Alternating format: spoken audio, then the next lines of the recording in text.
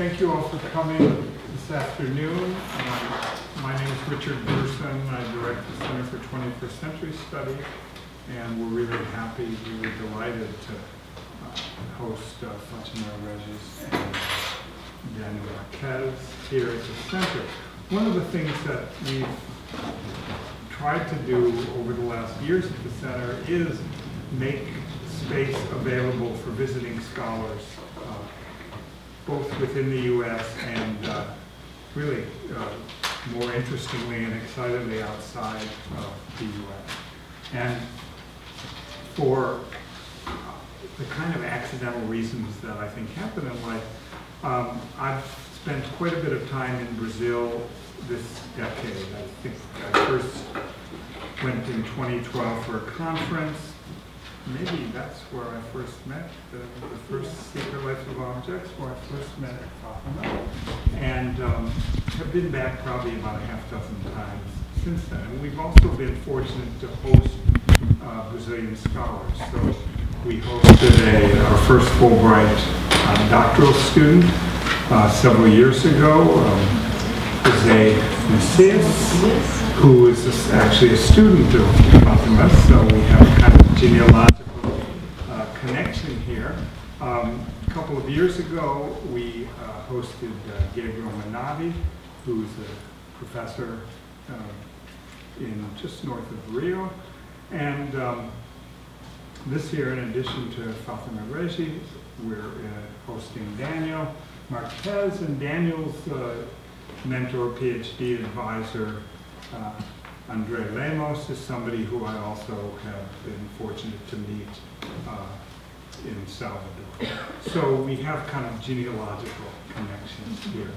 Um, So if you, any faculty have, if you know people who are visiting and need a home, we are happy to host people. We don't have funds to invite international guests, but uh, Brazil, at least before the current administration, has been a pretty generous uh, nation, it seems to me, in providing funding to uh, support academics for international studies. So, um, So, I'm not going to give a formal, uh, more formal introduction.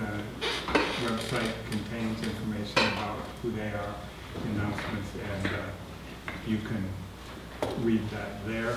I will just say before turning it over to Fatima that uh, afterward at five o'clock, you're invited, when, when we finish, should be around five, invited to join us on the ninth floor of Curtin Hall where we have some recept, refreshments for reception and also maybe the best view on campus. So, um, If you haven't been up there, just come up with a view, if nothing.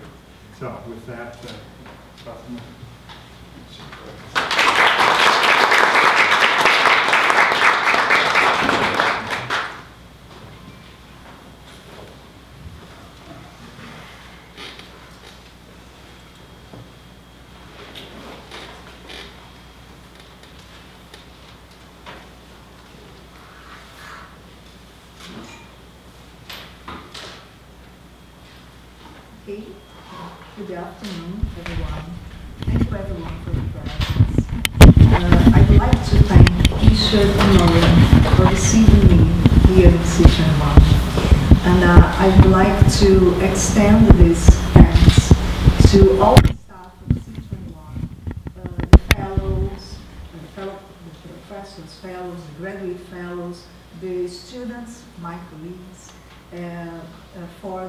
warm welcome you gave to us. Thank you very much. Uh, I, I also like to thank my home university for supporting me and CAPES, that's a Brazilian agency for the scholarship. Uh, well, I think it's a research I've been doing for almost two decades, so I think it's important to tell you, very quickly, of course, uh, the process that brought this research to, to this point. Uh, well, in a broader sense, uh, my research is in the intersection of media studies, technologies, and subjectives. For a long ago, at the beginning of the internet, cyberculture scholars used to say that transformations in media systems uh, stimulate the development of cognitive skills, of intelligence, of competence in their users. And at, at that time, I was intrigued about what exactly were uh, these competence and skills. So, uh, formulated a question uh, just like this. Which competence and skills adolescents are developing in their everyday life connections with digital media? We were working around this time for long, for some decade. Wow. Uh, for over uh, ten, a little more than 10 years, in our lab back in Brazil, we undertook some theoretical and empirical research, and we found uh, a lot of competence. that They are listed here. Uh, and we separated in these two blocks, not because they are really separated, because as a fact they are interlinked, but uh, just to, to for the sake of the argument. So we can see that there were reading, writing, text interpretation, logic, focused attentions that are competence that, relate, that are related to a more print and book-based learning. And there are also other competences like teamwork, do-it-yourself creativity, multimodal languages like the, the use of photos, texts, videos, and so on, social and affective skills, split attention, and uh, that some scholars like James Gee, Kurt Squire, uh, are calling these competencies as game-based learning. And um, as you can see, there's no much disagreement on this. Disagreement on this. There are certain consensus. And here are some references. There are a lot of others. They're not here. Um, the first conclusions, of course, is that in a media study, studies point of view, it's clear that the competences aren't restricted to the print and book-based learnings, uh, but also they, they encompasses uh, competences related to other media, televisual, uh, games, internet, and a lot of others. Uh, we organize we organize these competences in five categories, sociality, creativity, and so on. And uh, of course, what what's interesting here, and what stands out most for us, is that these competences are not just print and book-based competences. So the thing is, uh, how are, are those sensor, uh, sensory, tactile, social skills, cognitive too, uh, that's a question. Uh, what explains this for us is the cognitive scientists. That is also our one of our basic conceptual frameworks. Uh, cognitive science are very interesting because they are hybrid science since the beginning. Uh, they, be, they began comprises human, social, technological, biomedical, uh, uh, scholars, expertise, and sciences. And there are a lot of approaches in cognitive sciences. Uh, the approach I draw on, the, approach I like best, is situated cognition, also known as a embodied cognition, connectionism, here uh, some authors, and enaction or invented cognition by Francisco Varela, principally. Uh, Varela is very interesting because he can connect, uh, being a neurologist, he connects the, the body with the, our brain and, uh, and he thinks mind uh, connected with the world. So we connected our, our mind, our cognition with the environment and with our history culture also. It's really very interesting person. Well, uh, there are three key points I'd like to single out about the cognitive science.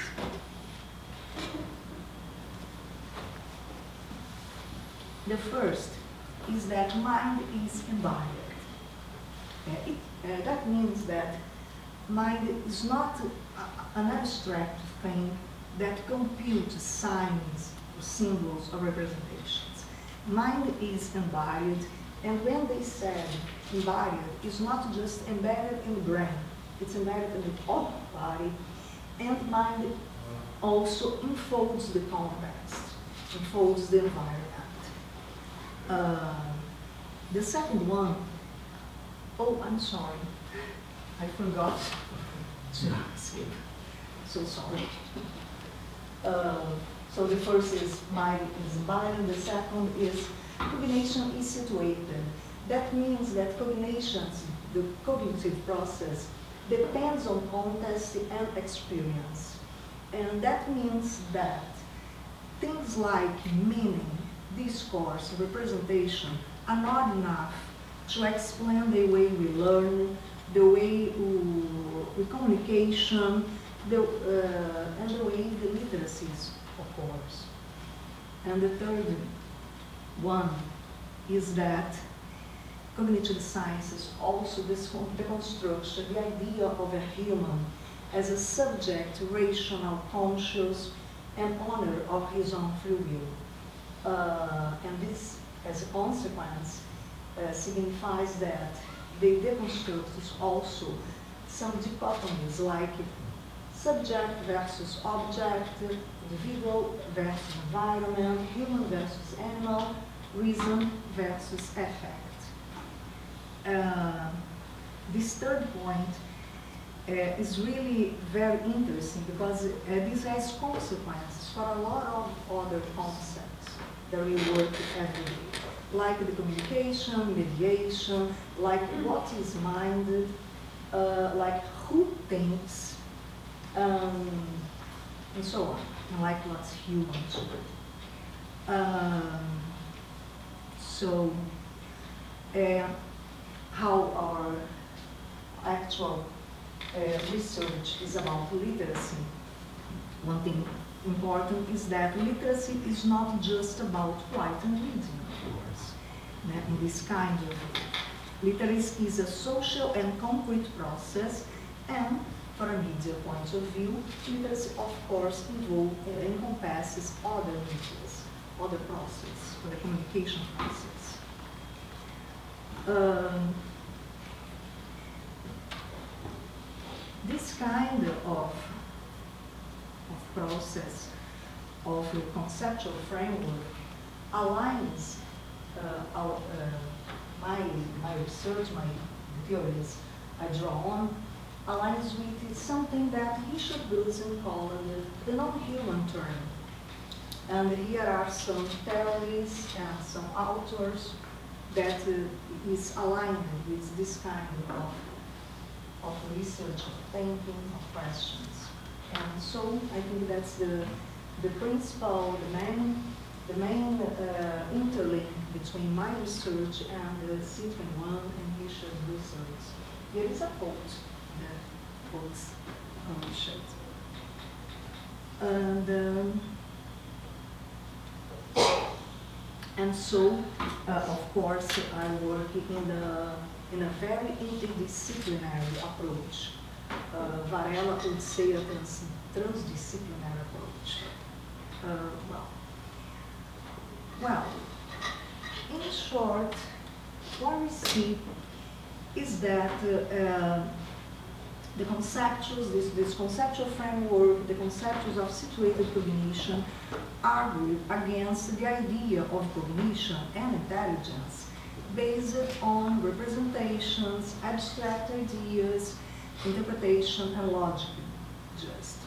Uh, which, of course, is basic topics of literary culture, of print and book-based li uh, literacies and learning.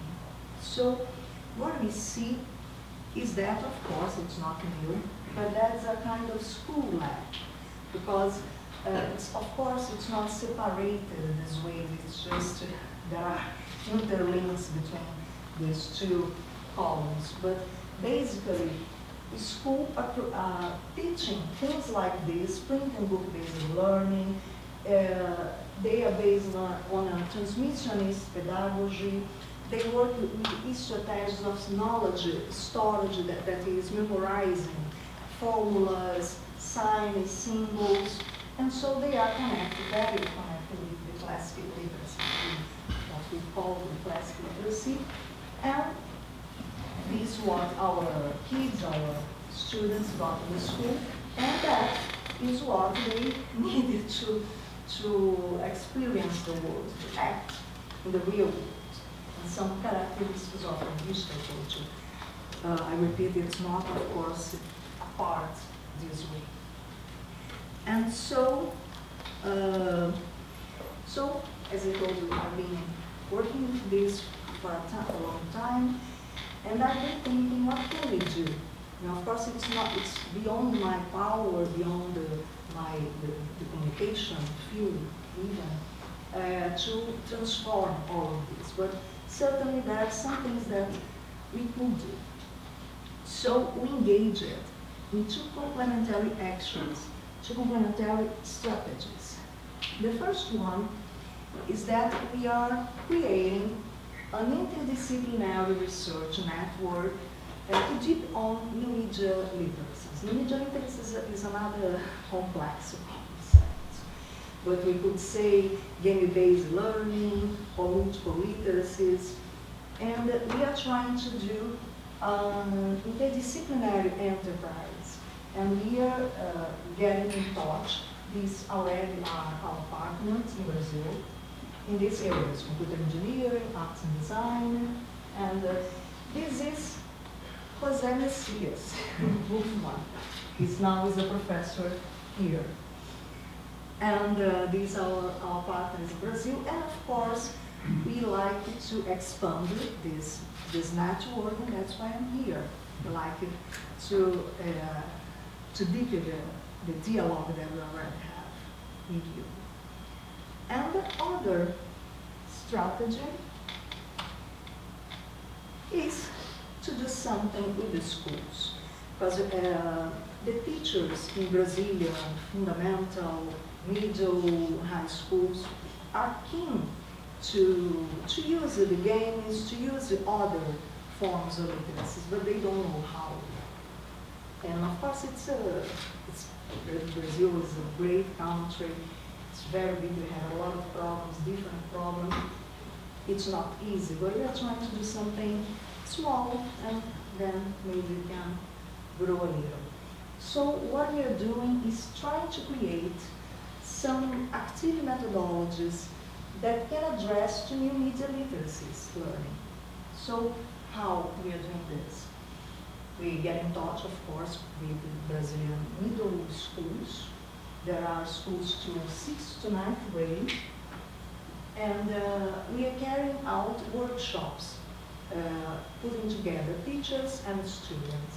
What we're trying to do is, uh, what, what we're trying to do is to create some form of adapt, some form of tra transcript this kind of learning to that kind of learning. Um, so what we encourage students and teachers to adapt to the curricular content. We cannot escape from the curriculum because there are uh, official curricula, they are based on representations, on the, the old school mode. We can, we can fight against this. But we can try to, we can uh, try to create some uh, different activities, resources that make this a little more smooth, a little more playful for the kids. And so what we do is to pick uh, a discipline, a subject that can be math, Portuguese, English, history, art, science, whatever, and uh, to work on the, the content of the discipline, because you cannot escape from this, but try to transcribe it to another media product. The, the students choose what media they want to work. That can be a game, that can be a comic, a board game, a video, whatever they can. And, uh, and I, besides this, we try to promote a learning that also stimulates them to develop of artistic, social, affectological, and other skills. And what's next? Uh, our methodology is called intervention research. It comes from action research, then there were institutional research, and now intervention uh, research. We also work with some ethnography. And what we're trying to do, as I told you, is something that creates a methodology that is participatory, playful, and uses multimodal communication. So, okay.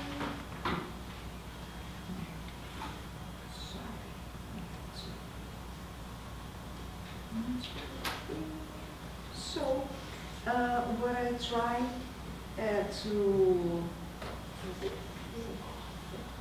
uh, what we're trying to do to work with the schools that are closer to our home university, UERJ, that is very near to Maracanã, the stadium, the soc- soccer stadium. And this is one of these schools, uh, named the Escola Municipal Madrid. And uh, these workshops were held in 2016. Uh, 2016 was the year that Rio de Janeiro held the Olympic Games. So it was a very interesting context to work with each other. And uh, uh, in the beginning, we are supposed to work with the, with the disciplines of history and sciences. But the, the time of the bureaucracy and papers took so long that the history teacher uh, retired. So we worked just with the science teacher. And, uh, and it was a class with 44 students.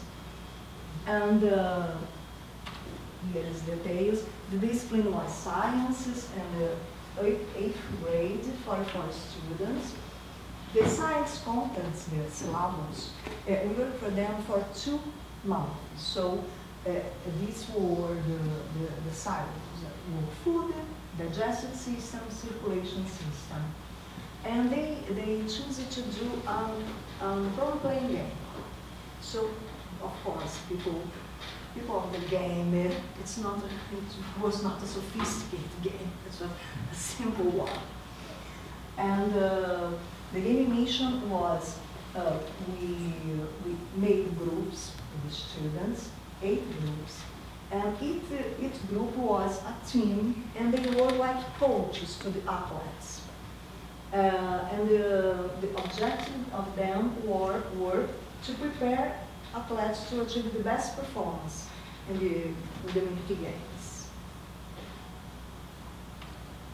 So, uh, the first, uh, the first step was to create the avatar, the character. So, uh, we, uh, we, we, we did 10 encounters during these two months with the, the students and the teachers. And of course, everyone working together and based on the, the symbolism. So uh, this is the, the athlete sheets. They have to create a, a, character. That is the instructions to them for the game. Here are them creating the, the avatars, drawing their, their athletes. Uh, here is the, the sheets they done. And what we tried to do was to pick the class content like food digestion process and to adapt, to transcript from the book based to something else, to game based or. This is the textbook of science. This is the diagram of food digestion process, and this is supposed, uh, the, the way they supposed to learn, kind a very print and book-based learning way. And what we did, uh, well, there are a lot of motives for this, but we put the children in the sports court to do the activities. And this one, what what we're looking at is, is the, the, is? Uh, these are, we make uh, spots, uh, uh, each spot you're seeing here represents one part of the digest system. So one spot was the mouth, the other was esophagus, the other was stomach, intestine, and so on. And we also take to this, to this workshop um, a market of food. We, we take uh, trash food, we take uh, healthy food, and the, the students were supposed to pick a food and to pass through each, through each of one of these uh, spots in the circle. And they have to say what, uh, the, what the mouth do with the food, what happens to the food in the stomach, and so on. So we think we, we kind of, of did an immersive simulation of the di- digest system. So it's, of course, it's a more playful activity with body expression and things like this. And we, we also try, and that this is just one encounter. We also have a lot of other encounters, and uh, we, we try to, to help them to do research in textbooks. Of course, we don't abandon textbooks, uh, cell phones, and so on. Sometimes we, we use our computers because they don't have two good computers. There are activities like media training when they are encouraged to elaborate question and answers for interviews. One, one team interview the other team, the other athlete, things like this.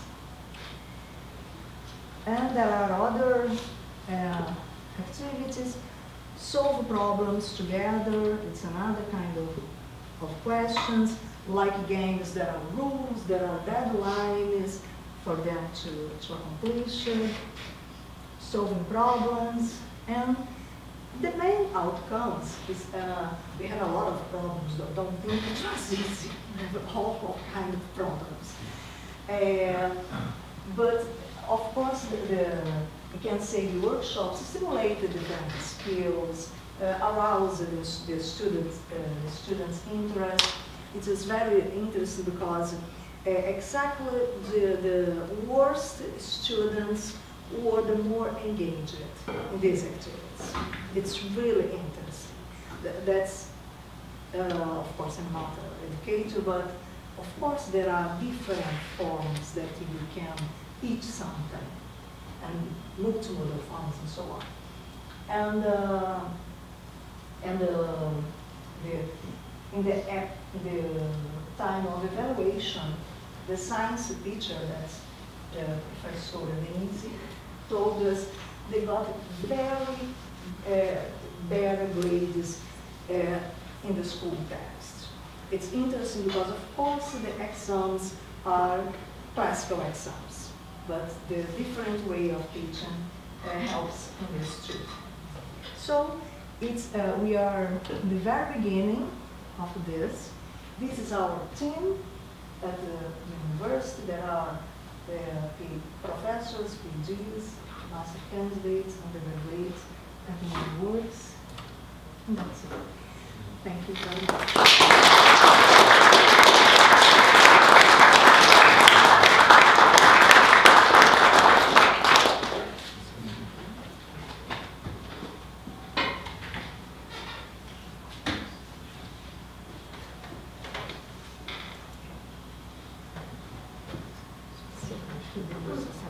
Hello,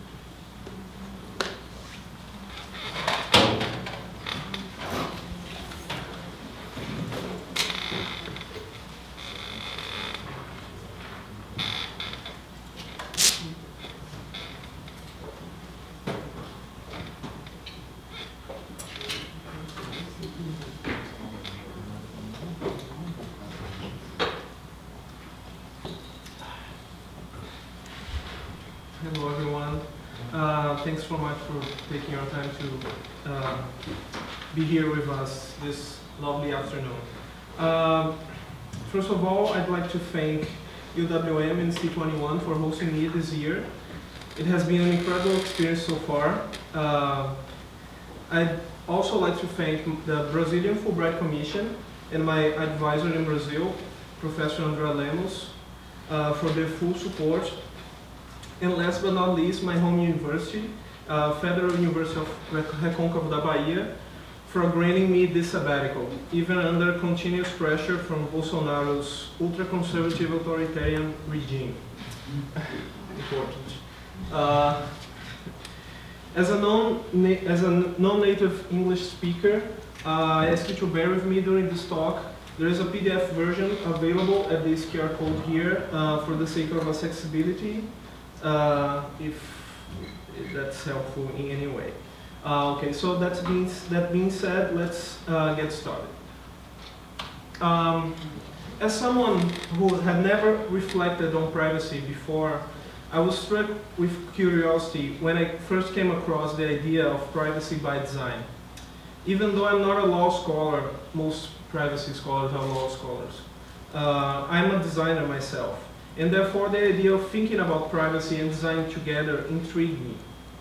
To put it shortly, Privacy by Design stands for a framework aimed at, aimed at developers, designers, and project managers who seeks to engineer privacy in the early stages of product, product development, uh, mainly focused on digital artifacts.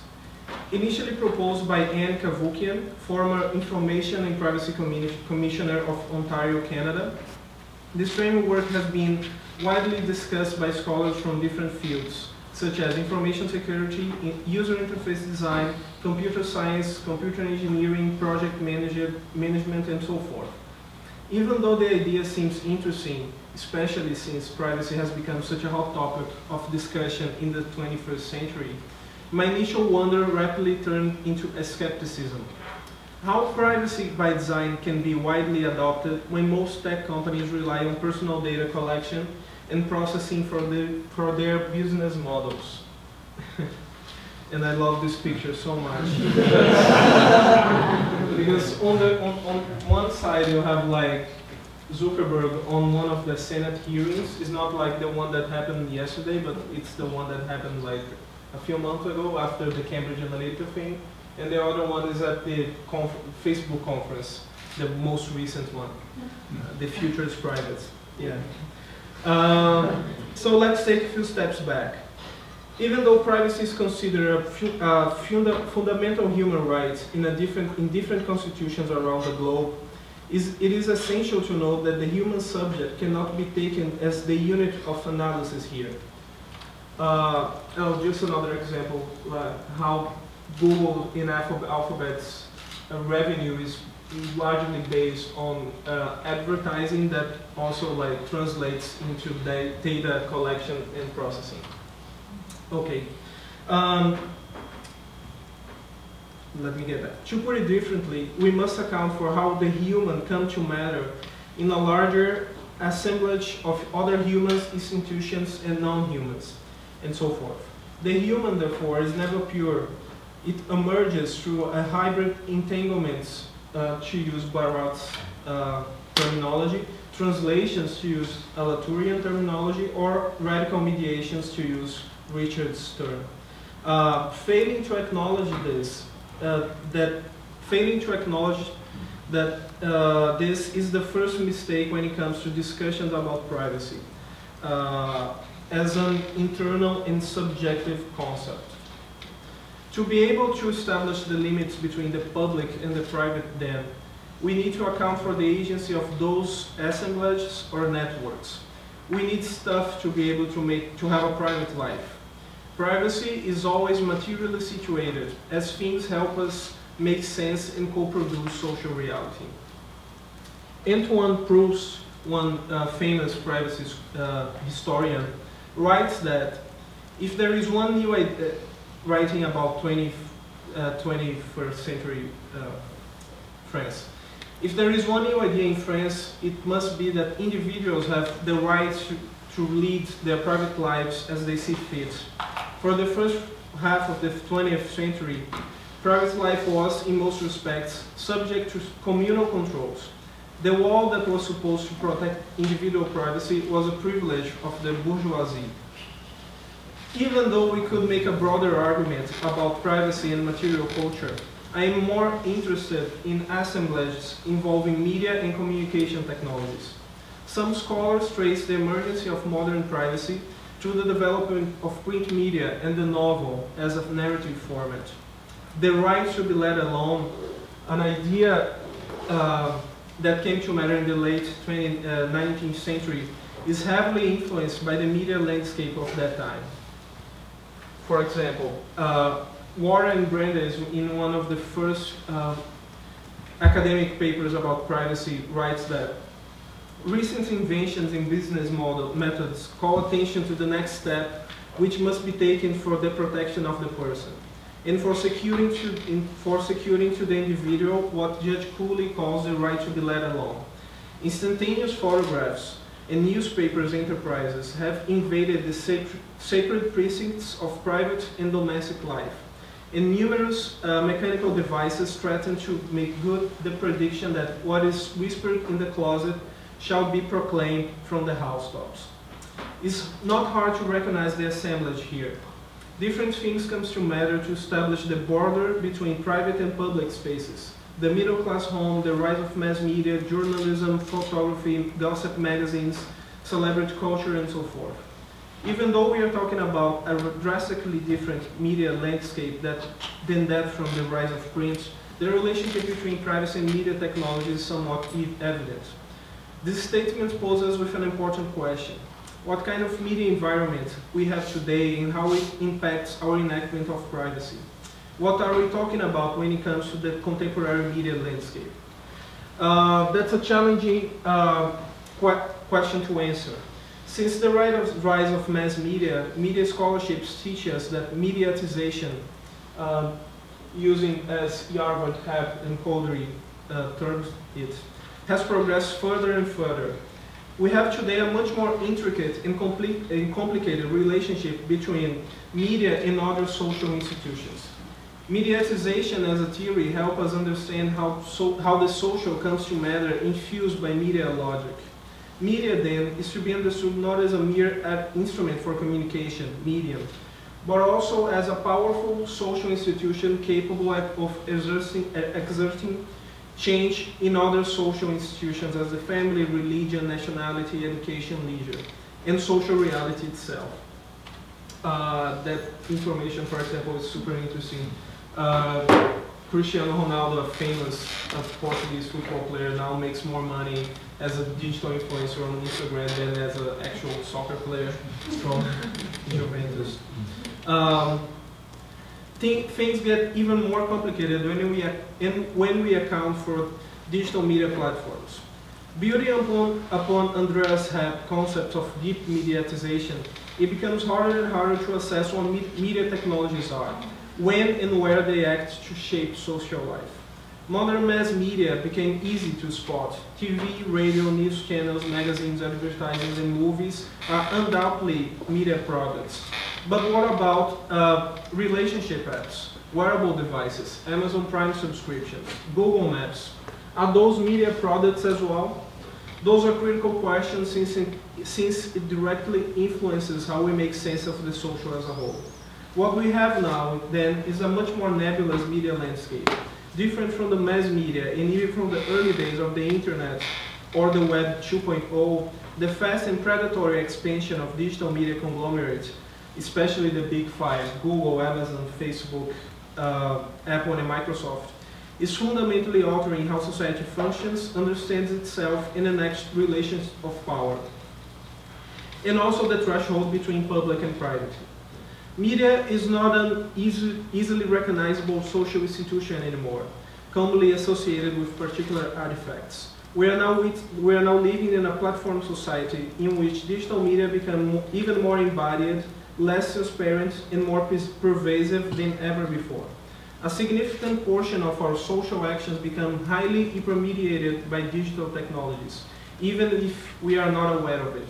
The double logic of remediation is in full speed here. Uh, I would argue that the platformization of society uh, and culture is the main characteristic that defines contemporary media environment.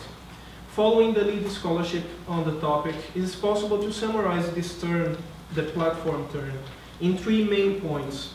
Uh, the platformization of society itself, the economic and uh, based on the economic and political rise of platforms such as Facebook, Google, and Amazon. Datafication, the process which social life gets translated into digital data through several different data practices, and the widespread deployment of performative algorithms, computer entities that provide intelligence for digital media. Highly complex social and technical assemblages present, present, uh, present in many different artifacts today. We are calling this in our research group in Brazil the culture of the PD, PDPA, and I'm going to refer by this acronym. Even though uh, some of these processes are redundant with each other, they become representative of 21st century media ecology. It is troublesome to think about how deep the roots of the platform society have grown. As a significant part of our daily lives run through highly sophisticated algorithms, data practices, and digital platforms. So what has changed? What are the consequences uh, caused by the platformization of everyday life? The key words here are control, capital, governance, and politics. As we are wit witnessing the rise of the platform society, we also wit witness the rise of platform capitalism, surveillance capitalism, uh, and data capitalism depending on the author. Uh, when data became the new oil, a highly valued uh, commodity, tech companies rapidly adapt in order to extract value from it. Even though I do not have enough time to go into specifics here, data extractivism can be primarily, primarily regarded not only as a new camouflage for capitalism, but also as a new enactment of colonialism and imperialism. This should come as no, as no surprise since those three are long-time friends. They are mostly interdependent. uh, this is a prime example of how the platformization is in full-fledged. Tesla, which is mostly a car uh, manufacturer, uh, is also a data company today as well. The platformization of, everyday life becomes a way to transform citizens into users and consumers. When life comes to matter through digital platforms, we became part of this assemblage. We act through and with those mediators. They steer our actions, help us, helping us perform, and embody in, a, in specific ways. Digital platforms are not just intermediaries in a Latourian sense, but highly skilled mediators. We are continue, continually negotiating with them to control, or at least try to, who have access to our private life and when. Um, the platformization of everyday life makes our enactment of privacy and intimacy to be uh, highly mediated by, by PDPA media artifacts.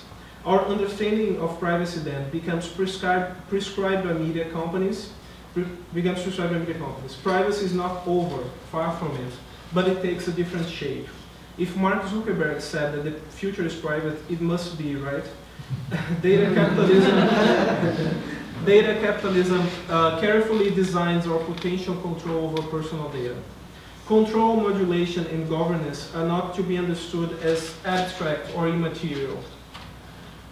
If we have established that privacy is always contingent on, on materiality, a more than human privacy, if you indulge me, the idea of pre prescribed privacy is also materially situated. Platform society and data capitalism cannot be grasped and therefore disputed if conceived as purely immaterial. They, they can only be experienced through things. They make themselves visible in privacy policies, code, product design, public speeches, patents, lawsuits, predatory inclusion, hostile, takes over, hostile takeovers, pricing, conferences, conventions, user interface design. This last one is of particular interest for me. User interfaces becomes become a, an essential space for critical academic inquiry and also political action. Acting as mediators, uh, user interfaces ultimately, ultimately attempt to modulate levels of friction, steering user behavior, Is steering user behavior. Friction is an important word here. It stands for the discrepancy between the amount of effort versus the resistance of a particular environment when an action is performed. Designers and developers uh, design for a certain level of friction. since users' interface are always trying to accomplish something, to produce certain specific effects. Humans, human user and digital interfaces then become, uh, come together as assemblages. Interfaces are not just instruments. They uh, are entangled with human subjects to perform actions. Agency is the hybrid, the assemblage. User interfaces can be regarded as a more evident layer, uh, material layer when it comes to the digital platforms. They occupy a critical position as mediators, uh, acting with the user and the platform to sh shape social life. This is one of that one that is one of the reasons why user interfaces become a relevant site for scholarship and political inquiry. Throughout them, we can perceive breaches and identify controversies, gaining some insight into other material layers as algorithms, privacy policies, monetization practices, uh, and so forth. Uh, that being said, user interfaces become fundamental to address problems concerning platform capitalism as well. Uh, expanding the idea that digital platforms can prescribe privacy, we could argue that user interfaces become valuable stakeholders that help this project come to fruition. User interfaces actively negotiated, negotiate with the user for the enactment of a particular idea of private life. As expected, this enactment fulfill not the user interests, but the, that of the platforms. Those are, as we have been framing them, malicious interfaces. Uh, they are composed of interaction strategies uh, designed to reproduce the power asymmetry between user and the platform. Malicious interfaces are usually well designed, well designed, helping users perform, uh, helping users perform different actions. That is part of their scheme. The goal of a malicious, malicious interface is to maximize data production and collection, prescribing the constant need to produce more and more data. They are performative, since they are at the same time a byproduct of platformization and also essential agents in that same processes. Malicious interface as a theoretical framework were initially proposed by the name of dark patterns by Harry Brignull in 2010. Quoting him, this is the dark side of design. And since, in, since this kind of design patterns do not have a name, I'm, propose, I'm proposing we start calling them dark patterns, unquote. An exciting branch, an exciting branch of scholarship flourished after this. Different scholars, designers, developers started looking into these dark patterns in order to build a common terminology and taxonomy. Even though Brignull initially developed the concept to address problems in e-commerce, dark patterns became a powerful tool to think about privacy problems in user interface in user interfaces. Uh, most scholars, though, fail to recognize how dark patterns in user interfaces are entangled with a more extensive network of mediations, in particular, in particular those of the PDPA. Dark patterns do not just direct the user into random errors. They seek modulation, control, and governance over the interaction, sometimes in an effective way. It's not just a problem of user literacy either, since some of those interfaces are getting more and more inescapable. Uh, I would ask you, uh, everyone here who has the luxury of not having a Google account or a Facebook account or even to carry a smartphone that's the kind of thing I'm talking about. And that's a luxury today. In order to address this, uh, we proposed the term malicious interfaces uh, to expand the idea of the dark pattern. To better understand this problem, our research group in Brazil, uh, Lab 404, developed an empirical analysis of 10 apps currently, currently in use in Salvador Bahia, my city. Those apps offer some public service, ranging from parking to recycling. Some of, the, some of them were designed by public entities and other by private companies. Some fall in the middle. They are related to the state infrastructure but were designed and are being managed by private companies. The myriad of relations in itself is complicated and reveal different problems. With a previously established taxonomy of dark patterns, our task was to look at those apps, their interfaces, and seek for signs of dark patterns. Needless to say, we found dark patterns in all of them.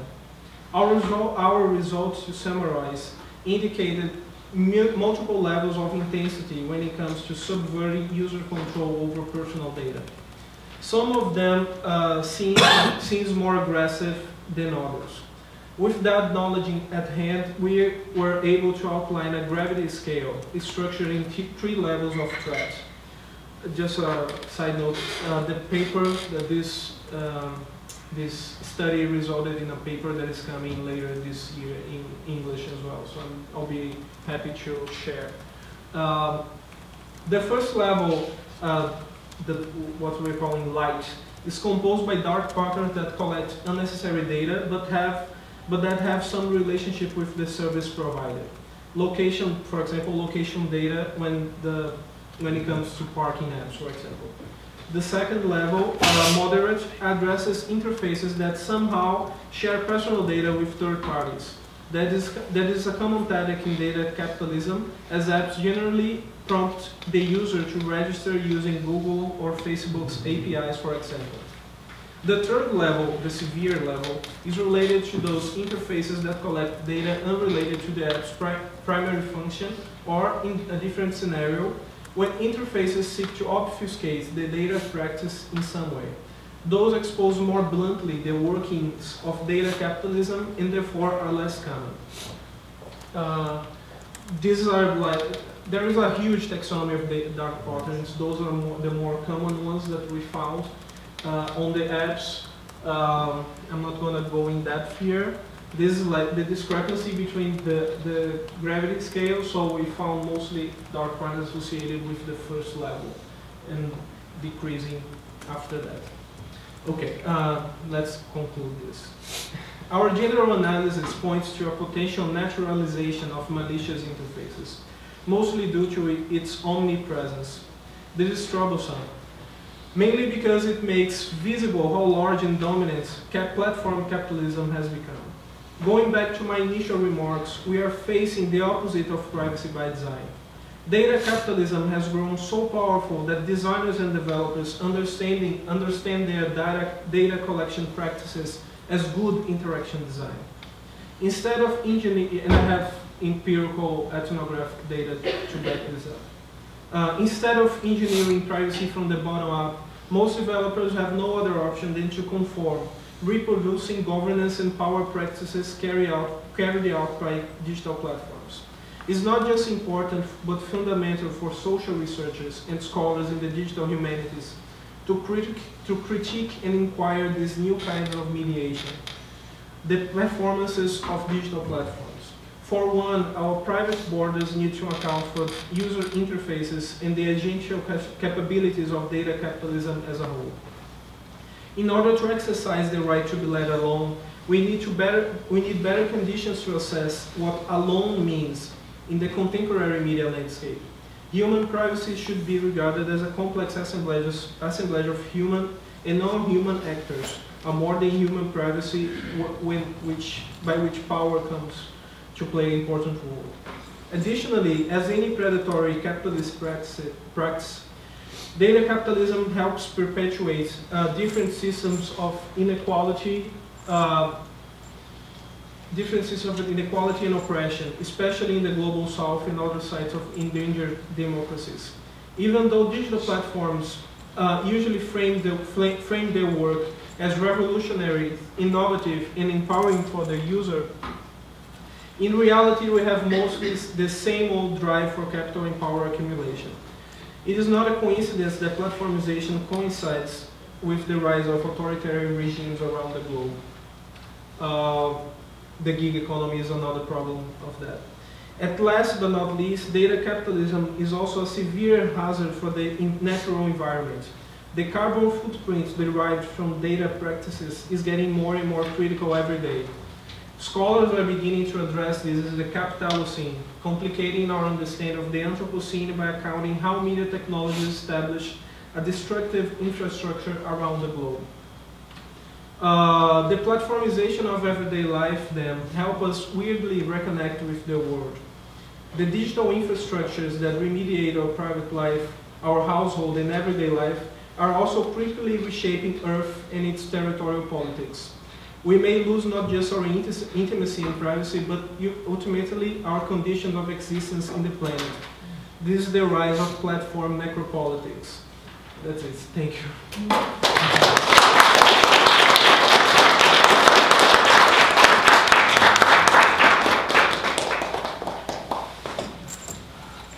So I'm sure uh, Daniel and Fatima would love to answer questions. Yes. Maybe, why don't we pull this, we can each have a seat.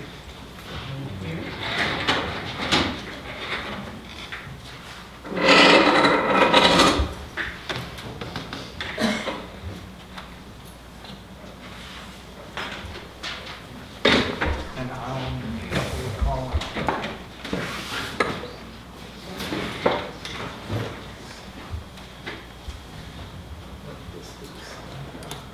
Questions?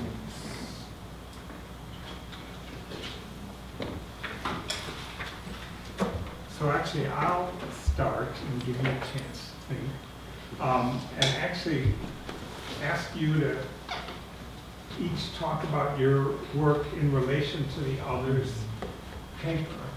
So what's interesting to think about, thinking about the two papers together, is, I guess, the question, um, I guess I'll do it this way, uh, for Fatima, whether you feel as if the kind of pedagogical changes that you are interested in uh, helping to perpetuate in schools, whether there are any of the kinds of dangers of platformization and data surveillance involved in those that Daniel was talking about. And then conversely, I would just ask Daniel if you think that um, the kinds of projects that Fatima is interested in doing, in terms of, especially in terms of creating new forms of literacies, could be directed in a way to help uh, users, citizens, students, um, sort of become more alert or be able to protect themselves against these kinds of um, dark patterns or malicious interfaces. Yeah, uh, let me just start because uh, the talk, I- I'm aware that the talk ends in a very dark note. and it's a provocation in, in some sense, in some way.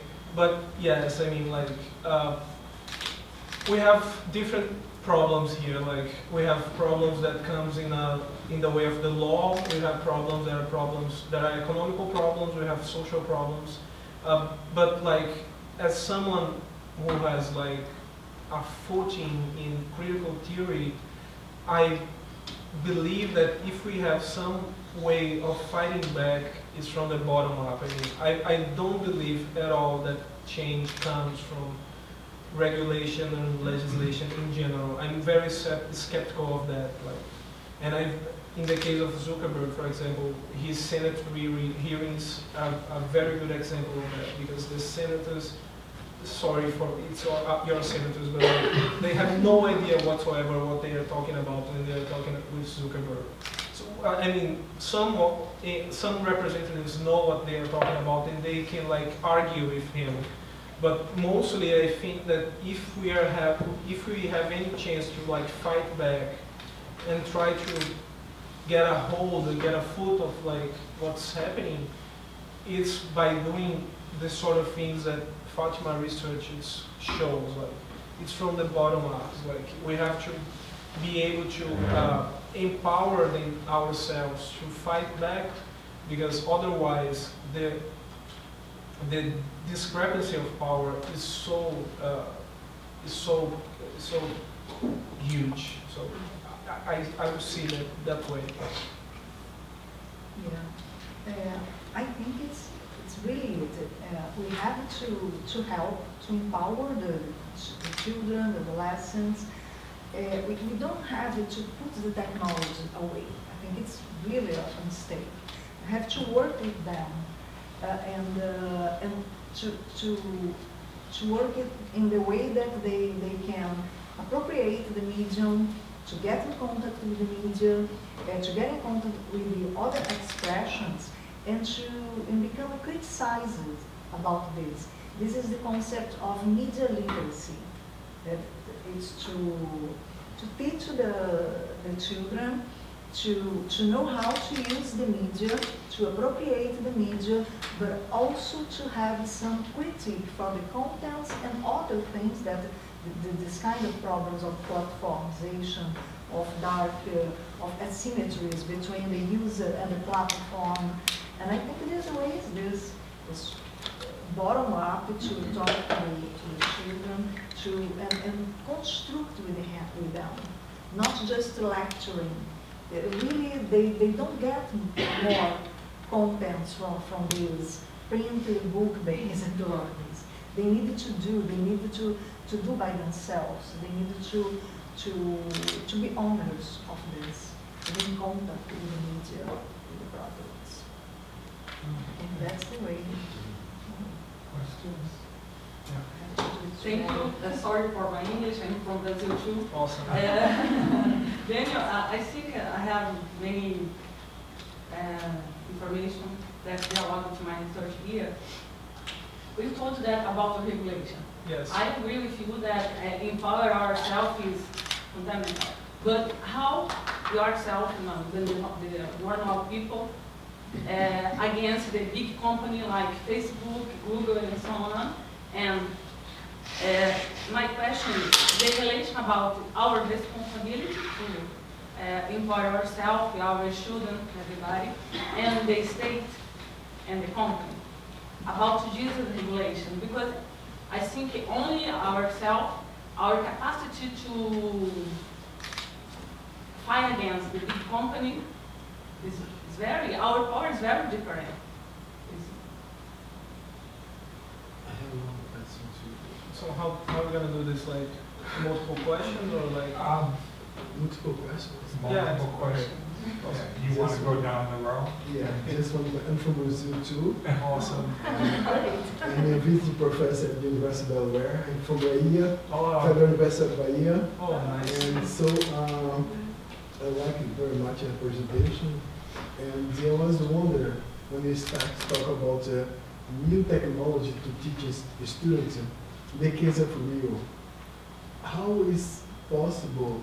How do you think that your tool, this tool to teach uh, using technology is going to help the students when they are in a, like in favelas or some very poor uh, community Rio in which they need to survive every day in a situation of despair because they can get uh, bullets in moments.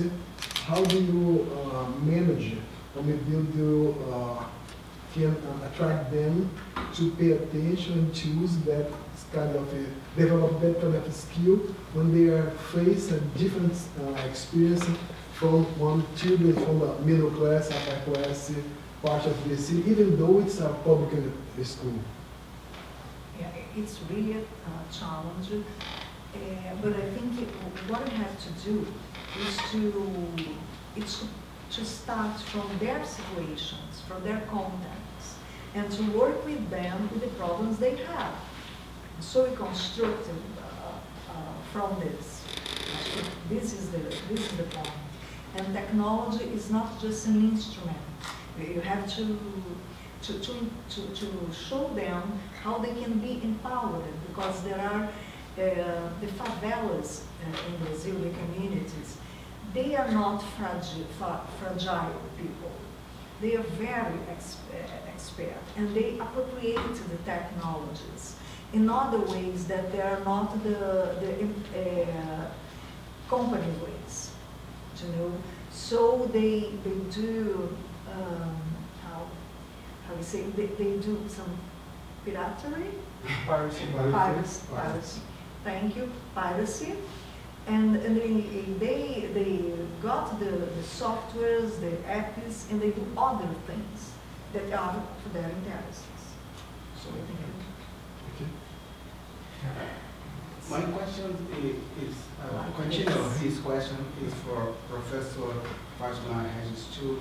Uh, Although you start to answer part of my question, uh, what I think, when you try to use technology to teach the students, you are create a market too a market uh, of um, the technology because some companies have to do this work and you you turn the question that Daniels are talking. This is the first question, how to work this because you create a, a new market to these companies because they have monopoly. They have monopoly about this. This is the first part of the question. Second, although you talk about pirataria, in English, Piracy. piracy, although you talk about this, uh, most of people, poor people in Brazil has no money to, to buy this. You understand my question? How can I use this to teach the students if the students has no money to buy this product? The government will pay for this. If the government pay you for this, with this, we maybe you uh, can feed the companies, the big companies like Google and so on. May, can I like address, sorry, because it relates to the first question, sorry. I- Yes, yes. Sorry. Uh, Sorry, what's your name? Ivonete. Ivonete. Uh, thanks for the question. Uh, so, uh, I think that the state has an important part here, but I mean, I'm, I cannot, I cannot be pessimist about it because like, when you think about, for example, Jeff Bezos, the CEO of Amazon, I'm not talking about Amazon. I'm talking about him as an as a as an American citizen. He owns like media conglomerates here. I think it's a Washington Post. I, I don't know. It's a Washington Post. Like he owns the Washington Post. It's not Amazon. It's he owns the Washington Post. Like uh, when Mark Zuckerberg walks through the Senate, like for the hearings, he's he, you can like almost feel an aura of power because they are very powerful people. So uh, in in those companies, like they the, the, the this kind of power is also like trying is exerting agency over the state as well. We had a great example of that in Brazil with the Civil Act of the Internet, the o Marco Civil da Internet, because uh, it was like a civil regulation of the internet, and there was a lot of lobbying from from like digital companies, uh, most of like telecommunication companies, uh, because they didn't want to like have to install the servers in Brazil because it would be more expensive. So they, what, what those as they, these companies have like an immense, they have power, most, Amazon and Facebook have more power than most states in the world, so that's a problem. Uh, and I totally like, I, I'm totally on board with the representatives here that are trying to break them up. It's important. I think it's important. I'm do- I don't know if it is my place to say, but I, I agree with those senators and representatives here.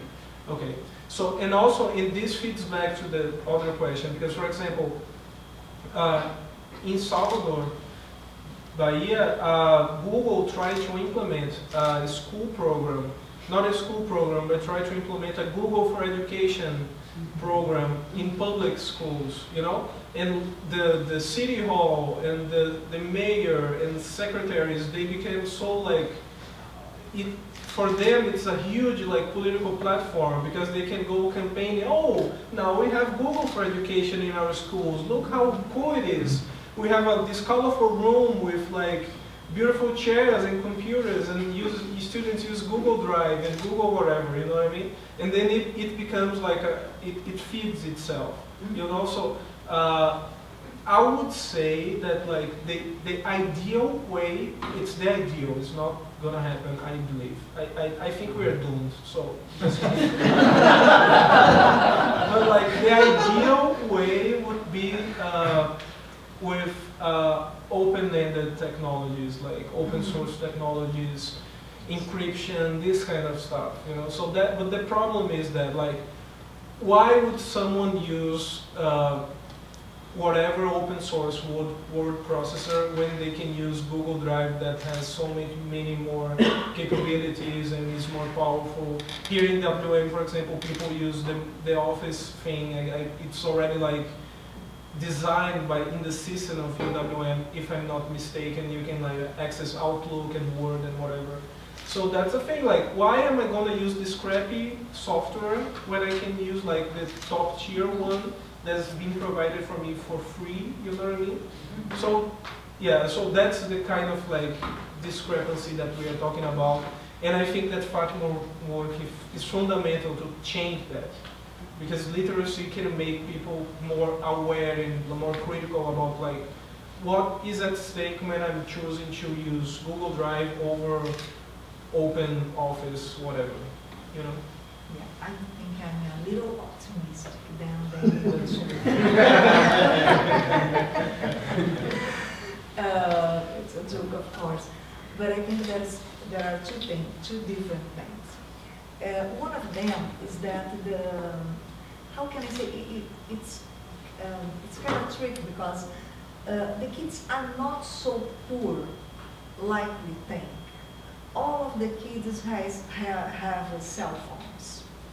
And they use this in their, in their ways, not just in the company ways. Uh, of course, there are everything that Daniel said about malicious platforms, that, that dark information, and so on. Of course, cannot be naive. But they are not very cool as we think. This is one thing. The other thing is, we, we just don't work with the digital technologies, with the most sophisticated gadgets. As you saw when I presented, we, we use what they have. We use hula hoop, is the name of the, Brazil is bambolê.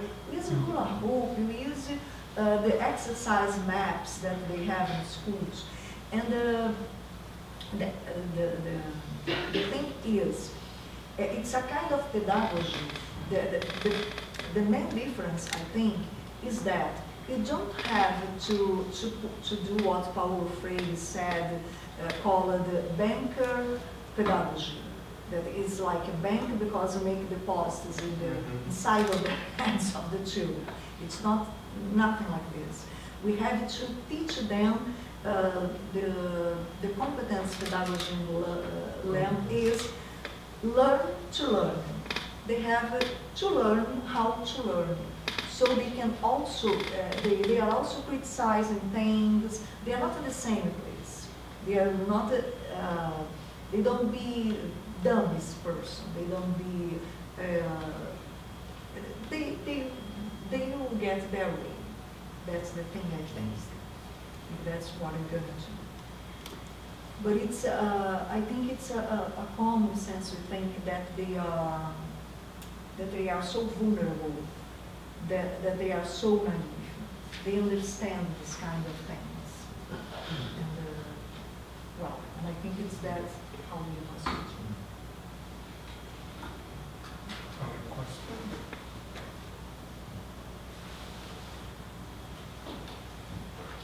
Can you, this is not a question per se, but can you put your QR code back up? Oh, yes. People might be curious about, you know, yeah.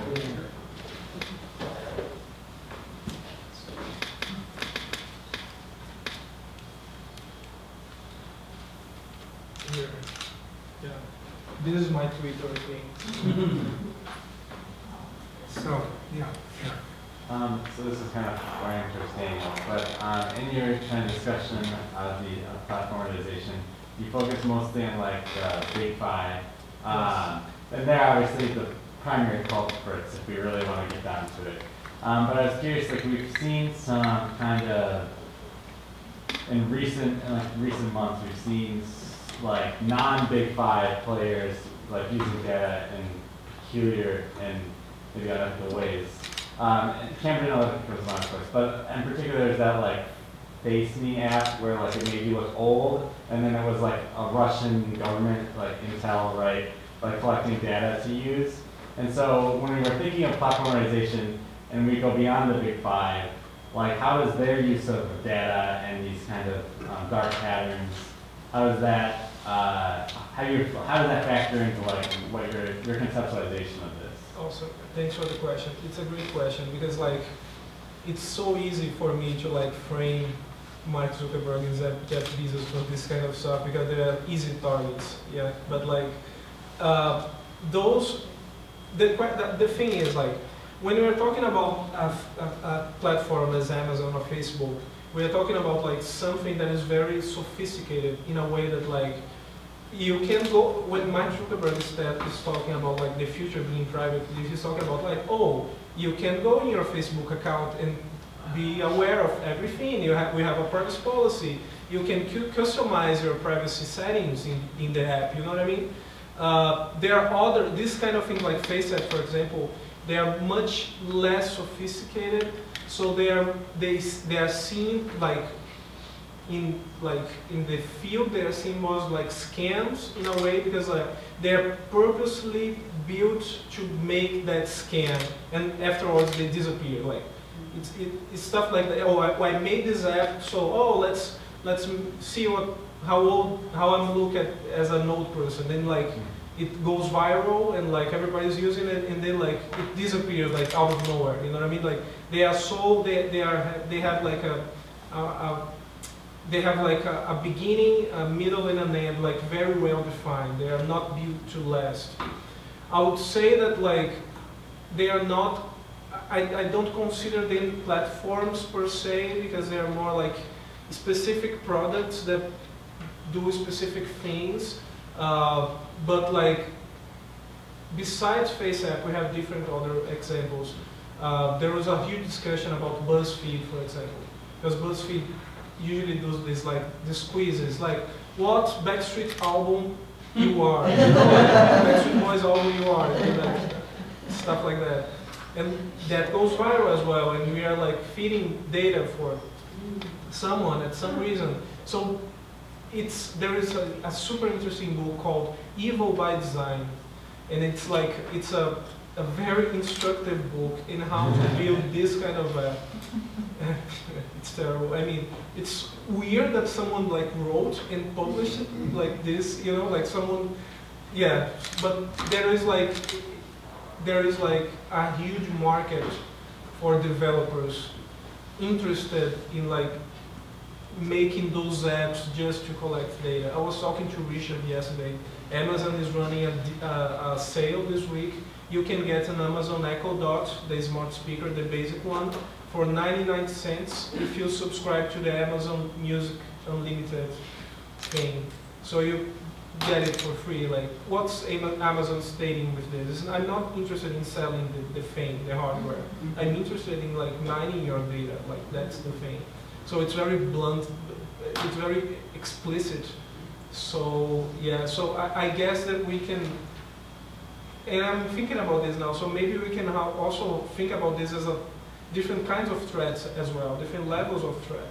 Some are more explicit, some are more hidden or like obscured in some way.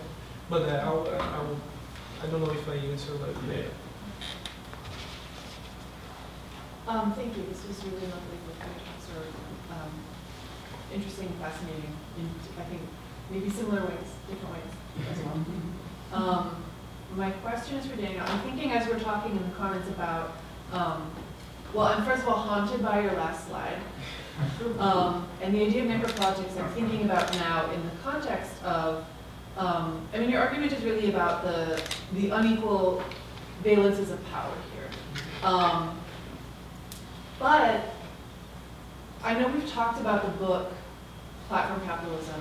In that book, he basically makes a very grim assessment of these platform, of platform um, companies. You know, Uber has not found a way to make, uh, to mobilize its data and um, is still receiving infusions of venture capital even at this stage. And so basically he, he makes the argument that these um, Silicon Valley startups have required greater and greater infusions of capital to remain in business, basically, longer than, you know, even the, certainly longer than the first dot-com boom. And so now there's a question about, like, this data has become the primary engine of these companies in ways that is even getting away from them. And I think that alongside that problem that they are now, most of them are beginning to encounter, there is um, regulatory pressure and audience user pressure um, about data. Even if, um, as you say, our lawmakers and many of our, many of the users don't really know how their data is used. We just know that it's not something we want.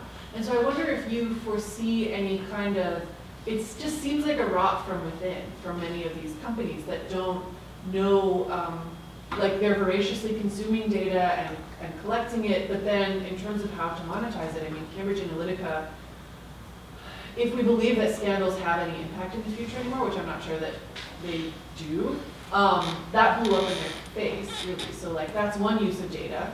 Um, but I don't know that other uses of data have really been profitable for these companies. I don't know. But yeah. Do you know what I'm trying to Uh, ask? Yes, I understand. Yeah, and I, I think I have an answer for this. Um, thinking about necropolitics, and I think that necropolitics is a s- super strong idea uh, by Mbembe. I mean, his work is amazing, but like, I, I really like the idea of necropolitics, like uh, expanding like Foucault's biopolitics to think about like how go how power governs not just the way you live, but also the way you die. Mhm. So this is super interesting because now, and, and this is like where power diverts from companies and also leaks into the state as well. Mm. Because there are a lot of like journalists and scholars in multi diverse fields talking about how algorithms are being constantly used to uh, automatize like welfare, access to access to healthcare, access to to like representation as in the law. So we are when, when I'm using platform necropolitics as a provocation, I'm thinking about like how we are not just living by the prescription of this platform, but also like there are there are some very critical aspects of our lives, including our death and our access to as a way of a condition of living in the world that are being like because I totally agree with you. There, there is this myth that like, oh my God, now big data owns everything. Every decision in the world is made by big data. And uh, there was a Twitter thread this week, uh, like the guy was saying like, 80 something percent of the data is not being used to anything. They're just collecting data. Mm-hmm. But like, even if that data is not being put to use, like the, the collection in itself produces a, a, a certain performance of like surveillance and now a- an enactment of the subject that is also like very powerful because it, it's like it's the, some sort of the panopticon. Like it doesn't matter if there is someone actually collecting the data. What's, what matters is that you you enact you perform in a state of surveillance and you conform to the decisions that may or may not be informed by data. And that's the problem with algorithms because people regard them as like inaccessible and black boxes and this kind of stuff.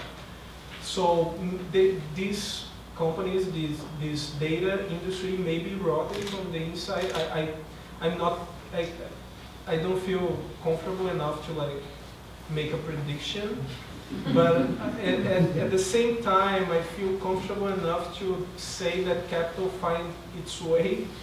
so if we are like talking about platform capitalism today, maybe in 50 years we'll be talking about like, I don't know, nature capitalism. I don't know, like some form of like in, in some way, capitalism will reinvent its reinvent, and like the book is so good in showing that platform capitalism is not as new because like it has these other problems as well.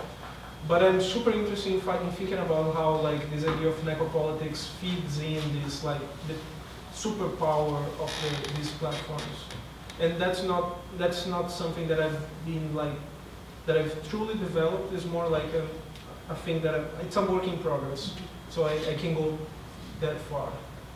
Well, Why don't we thank our speakers?